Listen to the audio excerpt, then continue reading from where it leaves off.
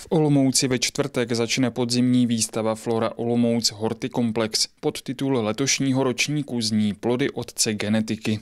Tím, že vlastně letos slavíme dvousté výročí od narození Johana Gregora Mendla, tak jsme se právě inspirovali tím jeho životem a vlastně tím místem, kde on působil.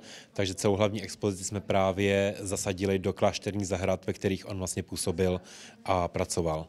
Nám to téma eh, velice vyhovuje, protože podzimní výstava Flora Olomouc je o zemědělských a zahradnických výpěstcích. Eh, vlastně prezentuje se zde eh, česká produkce ovoce a zeleniny a na to navázána prezentace vědecko-výzkumná laboratoř. Program pro návštěvníky ale nebude přichystaný jen v centrálním pavilonu. Standardně součástí podzimní flory je eh, festival gastronomie Olima. Eh, standardně jsou součástí vždycky zahradnické trhy, bez, bez toho to nejde. A eh, standardně podzimní, flora, podzimní floru doplňuje výstava, včelařská výstava Hanácká včela nebo mezinárodní výstava, včelařská výstava. To, co jsme přesunuli z eh, letní flory, tak jsou dny moravských vín. Letní flora se totiž letos nekonala.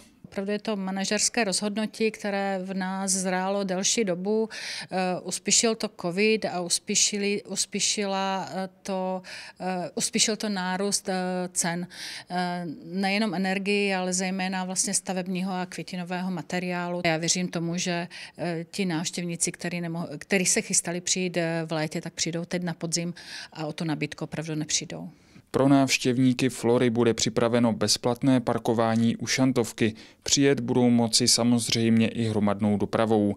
Na bezpečný a hladký průběh akce budou i tentokrát dohlížet strážníci městské policie. V rámci těchto opatření upozorňujeme návštěvníky, aby si dávali pozor vlastně na kapsáře při takto zvýšeném počtu osob, také vysoké koncentraci. Je to právě tak velké lákadlo eh, pro tyto osoby, aby si vlastně přišli rychle k nějakému lupu.